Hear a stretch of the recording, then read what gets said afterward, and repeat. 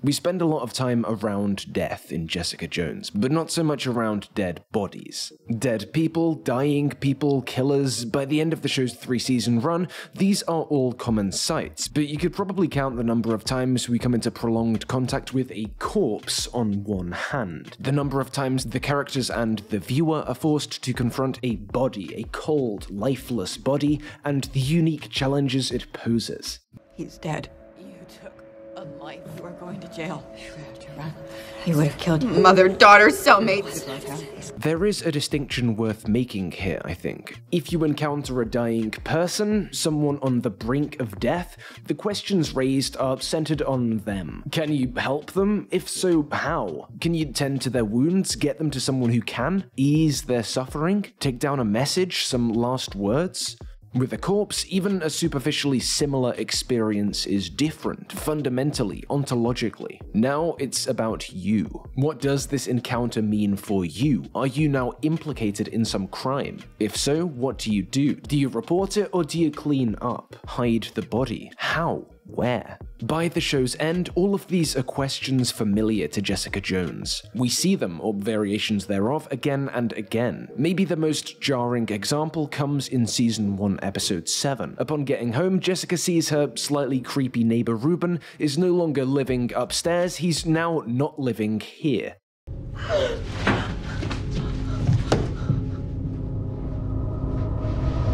The scene is tense and nauseating, and we're met with all those questions. Who did this? Why? Do you hide the body or call the police? But what interests me the most about this sequence is what happens while those questions are being asked. Ruben stops being Ruben, becomes Ruben's body, and then simply the body, the evidence. Jessica Jones, Making Death Matter. That's the prompt which won this month's Patreon community votes, which means that's what this video is going to be about. So let's talk about Jessica Jones. Let's talk about death, how it's reached, who it reaches, how it lingers, and let's talk about mattering. To start, an overview, a wide lens. Jessica Jones is a show about pain. It's a show about trauma. It's a show about broken people stumbling through a broken world, looking for right choices and right answers. The search is hard. Nine times out of ten, it's futile. Most often, all that results is more pain, more breakages, secondary fractures, as the cracks spread deeper. And all around this world, behind so much of this damage, perpetually causing more is death. Our protagonist's character, her powers, her direction, in life, these all result from several intimate brushes with death. First, the accident that killed her family and led to her abilities, then the murder of her dodgy boyfriend, her intervention to save a life that begins her period of kilgravedness, and the death that ends it.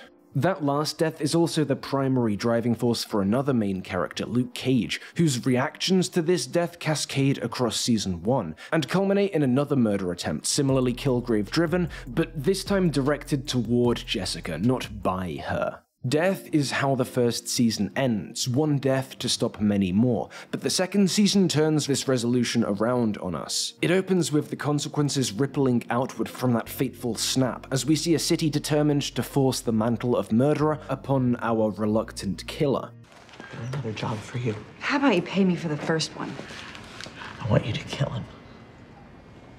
My job here is done. Perhaps more importantly, this season's ending is almost a direct inversion of the first's. We also see a killer make a choice, a choice they've convinced themselves is one death to stop many more. But this killer is Trish, and the target Jessica's mother, Alisa, a figure who we've seen slowly but surely demonstrate an ability to change. The audience instinctively takes Kilgrave's death as a triumph, Alisa's as a tragedy, but arguably the major difference between these two deaths is simply perspective. Season 3 pits a fragile serial killer against Jessica and an increasingly brutal Trish in a story characterized by shifting alliances and blurring lines. By the end of the show's run, nothing's really figured out. The granting of death, even considered, reluctantly inflicted death, a price paid for the greater good, might not be clearly wrong, but is never truly right. After dozens of episodes wading through death, all we really know is that it's death. It's everywhere, and that it does just as much damage to its survivors as it does to its victims. And it is everywhere. Death is a constant presence. There's some degree of plot armor here, maybe, but less than is typical for the genre. The villains don't slink off to menace the hero another day. Their necks get broken. At the start of the second season, we see a main cast member being given a surprise fatal diagnosis. Secondary characters die left and right. But sure, okay, there's a lot of death.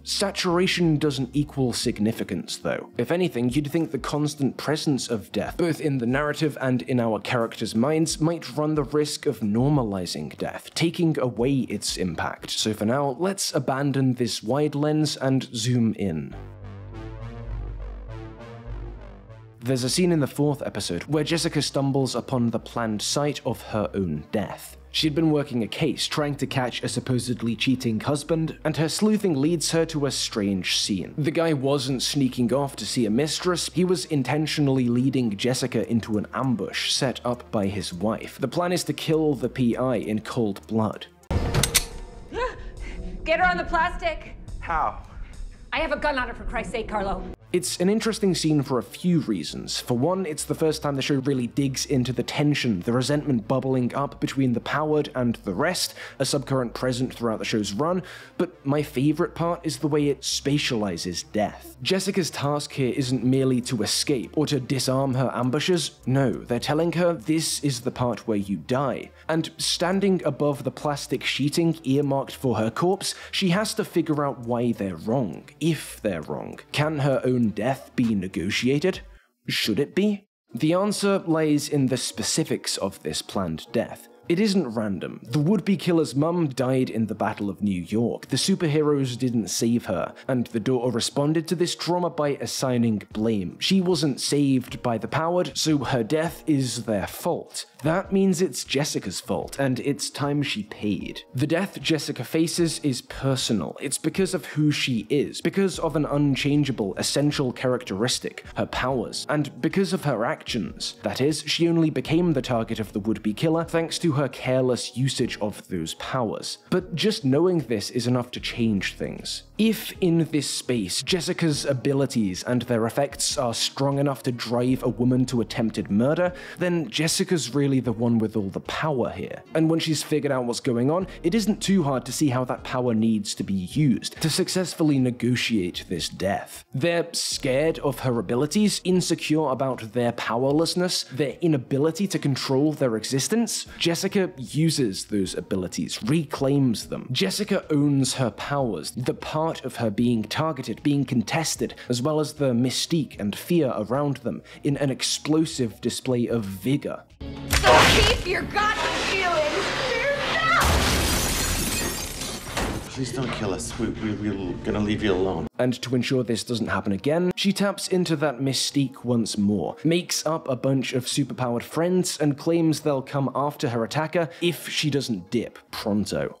This is the key here. It's Jessica's refusal to cede this part of her identity that wins this negotiation with her death. She walks away with her life this time, and the story continues. But I want to linger on this encounter with death for a moment more, and just note the intimacy of it. Again, it's deeply personal. Jessica enters and leaves this encounter because of an essential, unchangeable characteristic, her powers. She and the assassin fight over these powers, almost battling more against each other's resultant baggage, baggage from past deaths, past actions, past inactions, than against each other. Digging her way out of this death scene requires Jessica to relive the deaths of others, of her family, nearly becoming overwhelmed in the process, not by immortality conceptually, but specifically, intimately. You lost your parents? Welcome to the goddamn club. I lost mine in some random accident. Do you see me trying to kill every shitty driver? And that doesn't end here. Across all three seasons, Jessica Jones is a show in which death is intimate, for which the specifics of mortality matter more so than the broad strokes. And that isn't just the case for death's victims.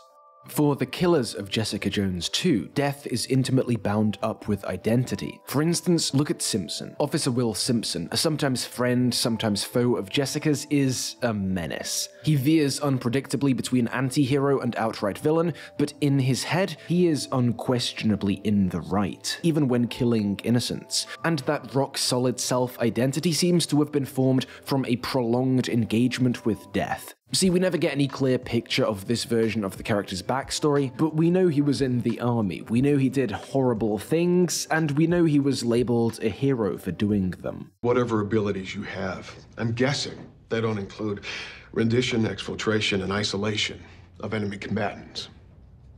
He's a war hero. The death in this killer's past goes on to define his self image. It's continuously visible in Simpson's utter conviction of his own heroism, regardless of human cost. Death, death inflicted, becomes the defining context for the story of Will Simpson, or at least that's how he sees it. But that isn't the end of it. In a lot of stories like this, stories which take death for granted a little more, killing can be more about the killer than the killed. Even something like Daredevil a more grounded, more human scale drama, often seems more concerned with the morality of taking life than with the taken lives themselves, more focused on what crossing that line takes away from a person. I don't kill anyone. Is that why you think you're better than me? No. Is that why you think you're a big hero? Don't get me wrong, as noted above, this is an angle Jessica Jones dwells on too, but the show never loses sight of the victims, the people whose ends facilitate these morality games. Similarly, for these, the killed, death becomes a defining context, but there's an important difference in that it's also the final context. If you inflict death, that death may come to determine your identity, but that identity is still malleable, can still be renegotiated right up until you're on the other side of the equation, until you die. At that point, specific death, your death, is burned into your identity indelibly. The end of your story is locked in and can never change. Sometimes that's dark. Take the way that following her diagnosis, Jeri Hogarth spends the final two seasons failing to change in time, using people for her own ends, failing to consider anything but her image and her happiness until the final withering blow is struck. I know. You don't want to die alone.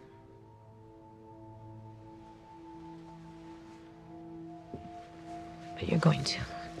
Sometimes, though, this can be liberating. Hope Shlottman's final act is self-sacrifice to render Kilgrave vulnerable. And though she chooses death, paradoxically, this act is also a reclamation of her identity. The last few chapters in Hope's story remain dark, remain the tragic tale of an abused, manipulated victim, but the very end, maybe the defining point, is a brave assertion of identity and selflessness. That is what her death shows, what it'll show forever. Death in the abstract doesn't define her, her death death does, a noble end. And even though Hope's story is over for her, it isn't necessarily gone. This, I think, is the last essential part of death in Jessica Jones.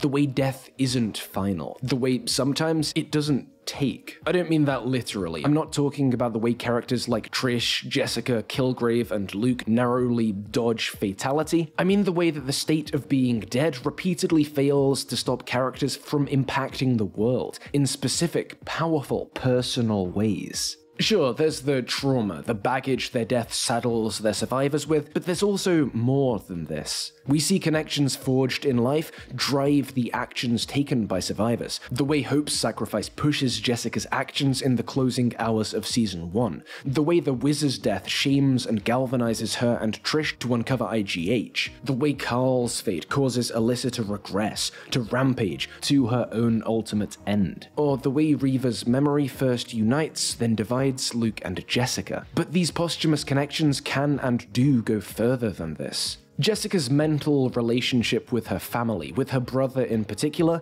dead for well over a decade at this point, continues to utterly define her self-image. This relationship isn't static, it changes as Jessica's knowledge and understanding of her family's last days develop. We see a sort of communion with the dead here, even if it is ultimately one-sided. By the end of season 2, this communion has fundamentally altered not only the way Jessica remembers her loved ones, but also the way Jessica sees herself.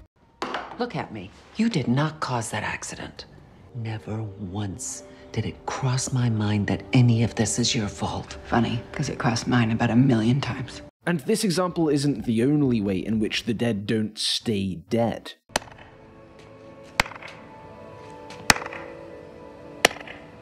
Kilgrave reappears a few times. Not really, of course, he's a manifestation of Jessica's trauma, but to us he's real, and to Jessica too. The fact of his death doesn't really lessen the impact. Main Street. Birch Street. Higgins Drive. Higgins Drive. Cobalt Lane. This type of symbolic resurrection, though, and the way it can change the living, it isn't all bad. Toward the end of the show's last season, we accompany Trish and Jessica to the funeral of Dorothy Walker, their mother. Trish's by birth, Jess's by adoption. She'd been targeted by the serial killer Gregory Salinger. Given the extra focus this season had allowed Dorothy, the death is an all too predictable instance of collateral damage. But you don't see what happens at the funeral coming. Your mother saved my career. I hated doing sex scenes, so she told me to start Dorothy screenwriting. Said to skip the couples therapy and spend the cash on a facelift and a divorce attorney. Even Trish and Jessica didn't see it coming. Probably won't be much of a turnout, so. She wasn't perfect. Doesn't make it any easier to bury her. Dorothy was in many ways a broken person. She was self-serving, superficial. She passed her own issues onto Trish, often compounded, and wasn't exactly mother of the year to Jessica post-adoption. At various points, both her daughters had been estranged from her. So this revelation of all the lives she'd touched, all the good she'd done, isn't the straightforwardly heartwarming moment it might have been in another show. And we don't spend ages sitting in this moment. After all, we've got a villain to catch, we've got a heel turn to witness, and we've got a show to wrap up. But we do see Trish and Jessica affected by this, moved, but not necessarily to joyous tears. Nearly everything is left unsaid, but it isn't hard to imagine conflicting emotions running through their heads. Relief that this becomes Dorothy's legacy, surprise that this vast web of goodwill had evaded their notice, and perhaps hurt, jealousy. If she was capable of good, real good, why did her own kids suffer?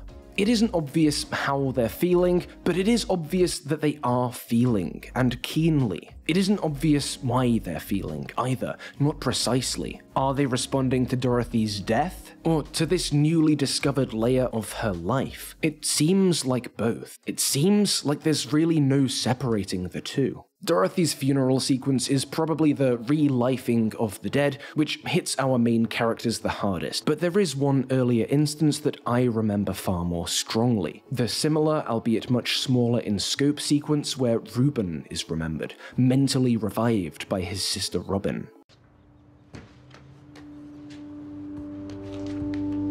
Tell him I'm sorry about the zoo. We can go this weekend. Will you tell him? I'll take him to see the giraffes, I promise. He loves those long necks. He's very sensitive about his neck, you know? You should know that. Also, he won't eat crust if it has seeds on it. Robyn doesn't know what happened to her brother, not yet, but across the course of a few shared memories, Ruben stops being a corpse and is himself again, one last time.